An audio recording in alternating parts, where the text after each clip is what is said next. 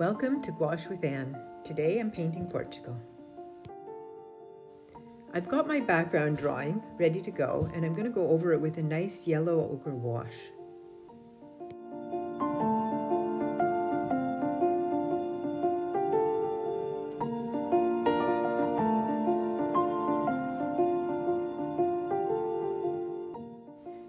You can see on the left that I have a color chart of colors that I might use in the painting.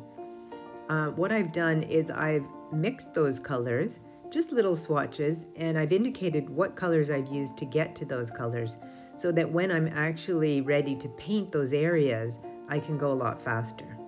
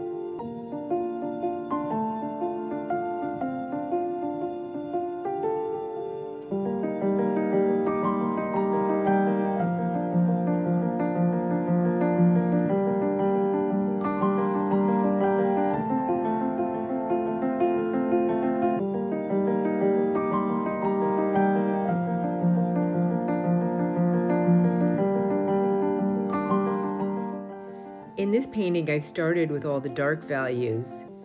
There's such a strong element that I feel like I should get those down first. Then I'll put in the background colors, and after that, I'll start working on the details.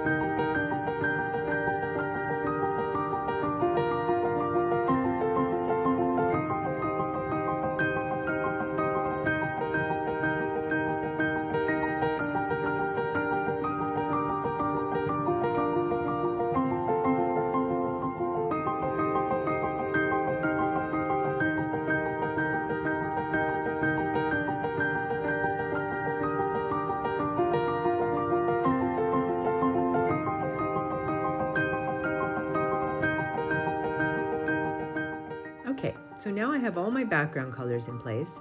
I can start working on the details and there's a lot of detail areas that need to be covered. There's the, the details in the walls, the details in the columns, around the uh, window areas, and up top there's also some details in the tile work.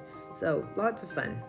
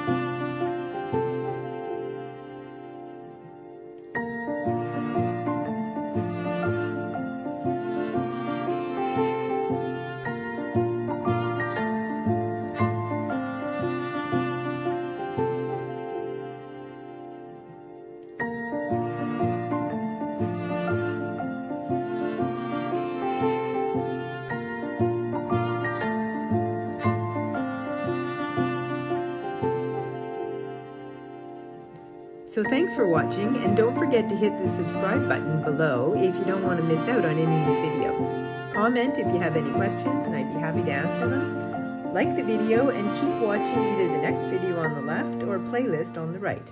See you next time.